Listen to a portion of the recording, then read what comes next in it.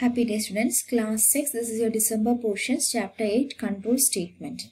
Okay, so now let's have a look on what is control statement. Basically, control statements means particularly will be given a condition. If that particular condition is satisfied, then a set of condition, uh, set of statements will be executed. Okay, so that that particular point, that test condition decides to which order of the execution is decided by that particular condition and we call it as a control statement. So in Q basics they are providing you if then go to if then else these many condition condition statements. So now let's have to see what is go to statement the first condition statement. Over here you can see line number 10 a is equal to 1 20 b is equal to a into a print b so value of b is printed over here then a is equal to a plus 1 so value of a is incremented by, by 1 then go to 20 so again it goes to the line number 20 the same conditions keep repeating. This is will be an endless loop, infinite loop it will be because every time it reaches line number 50, it goes to 20. Again it reaches line number 50, again it goes. There is no end. The program does not halt over here. Only if it goes to line number 60, the program can hold. But every time it comes over here, line number 50, it again control goes back to 20. So this is one of the example of go to statement and this particular one is an infinite loop. Yes, they are given some real-time example where tickets tickets are available then see the movie. If tickets are not available then you have taken another option that you're going for a food in a restaurant. The next condition is if then statement. So this syntax is very important. If a particular condition is satisfied then the statement has to be printed. If you are getting movie tickets then you're going for movie. If you are if else what will happen that will be another. So over here we are only focusing on if this particular condition is satisfied then this condition statement has to be executed. So let's take an example over here. If x is greater than y, if this condition says whatever the value of x and y given by the user, depending if this condition is true alone, then the value of c will be incremented by 1. So they are given stated few examples over here. Given a simple program, they are given REM. As I said, is a remark about the program. So this program is to find the greater number. CLS clears the screen. So this part will be known as how you write the algorithm that I'll teach you. First, let's have a look over here. Then input. Input means you're reading the value. You are reading going to read two numbers that is n1 and n2. Then they are going to check if the first number is greater than the second number. Then greater number is n1. Yes or no? We are saying n1 is greater than n2. If not, we are having next condition is this is the condition that is coming true, then n2 will be the greater. If both the conditions are not satisfied, which means it can be equal to, right? If n1 is equal to n2, then they are equal. And the line, when it comes to end, which means program gets halt, you definitely have to write a um, line number in front of it. So you can see the first we are going to write the steps. First step is we are clearing the screen. Then we are reading two numbers, that is input two numbers. Then n1 is n greater than first condition is being checked. Then the second condition is being checked. When they both, they both are same, it is being checked. Then the program's end of the program has been seen. So you're writing the steps. This is this particular step one, step two is known as the algorithm of the program. If you're able to write the algorithm means you understand the program logically, then we just need to put it into the programming language which you are using, which over here we are teaching you Q basics. Okay, they are given you now some value. What will be the result of A is equal to, it is in string. String values when added, what will be the output? Then next program is to find the difference of two numbers depending on user's choice. Okay, give me a minute. Let's switch on to the video. So we are on the chapter control statements. As I told you, if a particular condition is true, then a set of statements is executed. If that statement is false, then another statement is executed.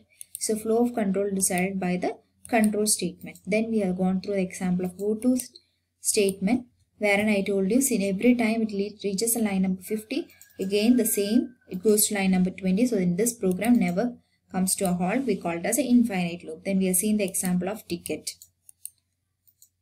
So what will be the result? I have asked you. Then we have seen one of the if then statement condition wherein um, they are given few statements like these many statements were given x is greater than y then we had to add if this particular conditions then you're going to input the value if this particular condition is satisfied then you're printing going to print c if this particular condition is then, then you're going to line number 80. So these were the sum of the if then else statements you are seeing. Then we have written a simple C programming wherein we wrote the program as well as its algorithm.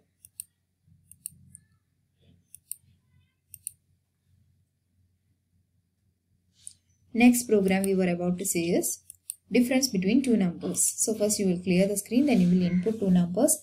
Then we are going to, if you are, the uh, user is giving 1, then addition should be performed. If the user is giving 2, then subtraction should be performed with the variables that has been entered.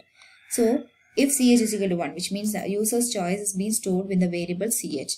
If ch value is equal to 1, then the result will be stored in c. That will be the added value will be stored in c. Yes, if ch value is equal to 2, then the first and second value will be sub the value will be subtracted from the first and then the result will be stored in C. After which we'll be printing the C. So C will have the value according to the uh, whether the choice of user in CH is 1 or 2. And then again it says whether you want to exit. If you want to exit, you have to type Y in caps. If you don't want to exit or repeat the same process again and again, you can give in, which means denotes no. Yes, so if the user prints n, what you have to go to the first line. So you have to go to the line number 20 and the process is repeated. If in case he's giving y, then you have to come to the line which has the word end. So use of line numbers.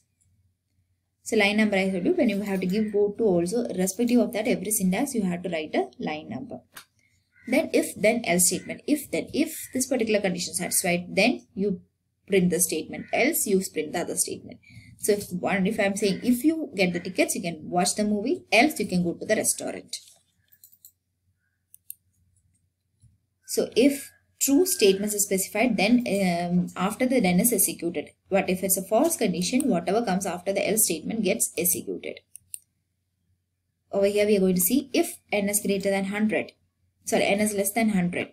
So if this particular condition, now let my value be n is equal to 3, then it will go to line number 30. But if my n's value was 105 because it's greater than 100 right? So it will go to line number 60 in this program. So they are given explanation of if assign the value of 1 to n then we are giving the value 100 if it is within this shift it will go to line number 30 and print the value of n. Otherwise it will go to line number 60 and increment by value to increment mean add if a person value is 9 and then increment by 2 means you will add 9 plus 2. And if the earlier value of over here we given n's value is 1. In that case 1 plus 2 will give the value 3. So we'll check the condition. So have a look. Clear screen to clear the screen. Then input we are putting double quotes. So whatever you put in double quotes the message will be enter your name and age. It will wait for you to enter your name and the age. Dollar sign because it's a string variable. Age is an integer variable. So no dollar sign. Then the age whatever you entered of it's if it's less than 80 then go to 12 line number 40. So let's see what is line number 40. It may be saying hi you whatever you will have to enter hi name dollar you are whether you're eligible for something, they will you are not an adult. Yes, less than 18 means you're not an adult. If the case was like this particular values more than 18, let's say 20, then we should go to line number 60. Go to 60, else condition they are given line number 60. So let's see what line number 60 says. Hi, you are an adult. Okay. So if it was 17 which is less than 18 it comes over here it prints you are not an adult go to 70 so what is line number 70 the program gets halt over there it's end statement so that it comes a halt to over there. Yeah, so the explanation of the program is given. First, we are going to clear the screen. Then the value input name and age is given. Aim, name being a string, you will use a dollar sign over there. And age being an integer, you can give the variable name as age itself. Then, according to the value of age, the message will be printed. If it is less than 18, then it will bring a not an adult and it goes to line number 70 that is states you to end the program and if otherwise the condition is greater than 18 then you say it's you're elderly person and you're, old person. And it will be halting the program. Yes. With this whatever topics had been discussed in this chapter gets over. So you can see 1 into 100 they give an adult program that you explained just now so they are given the explanation also over here. With this, this particular chapter gets over. Now let's see what are the lab activities. So first lab activity, the same what you're asked done textbook add, subtract. They don't told you add and subtract. Now we added multiply and divide also. So depending on your V of CH value, the, uh, the they will execute, but like perform the action like A is equal to if the value was 1, then C is equal to A plus B. If the value is 4, then will be divided and accordingly the value of C will be printed and it will ask whether you want to continue or exit. If you say Y, it will go accordingly. If you say no, then again it will go to line number 20 and ask you again two numbers. Yes, so here you can see given two numbers, then we are choices one that is addition will happen. Then you are asked whether you want to exit, you are saying yes, then you comes and comes out of the program. Another program is to sum of first 10 numbers. So first you will have to initialize C is equal to.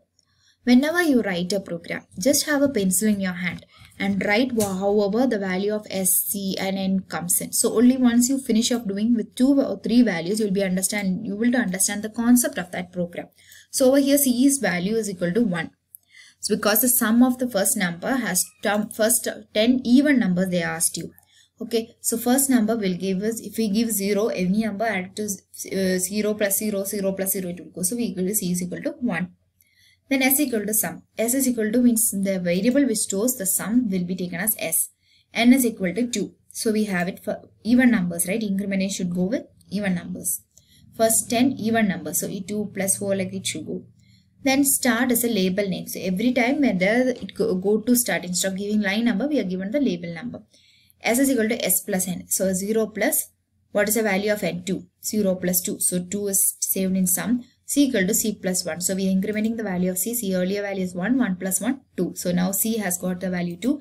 s has got the value 2. n is equal to n plus 2. n is 2 plus 2, 4. It's checking whether c is less than 10. Yes, condition is 2, right? c is equal to 2. So c is less than equal to 10. Go to start again. It comes over here. It says s is equal to present value of s was 2. 2 plus again 2. 4.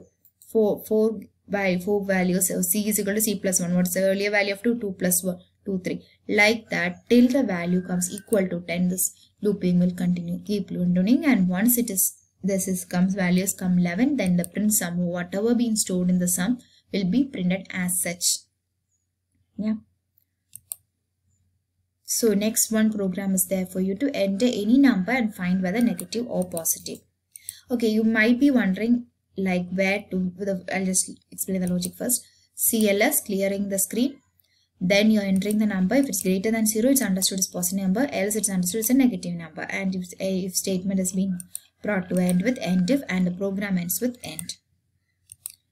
Yes, so my number was 45 and positive. Now, on how to run this program, we have a compiler over here. This you I hope you it's visible for you this particular compiler or like this compiler any one compiler but I generally go with this is online compiler wherein you can write the program over here and if you run the output will be displayed. So you can see 5 print 5 the value is get whatever program you have just write the program over here and click run. Yes? So with this we have come to the end of this December portion. So have a nice day students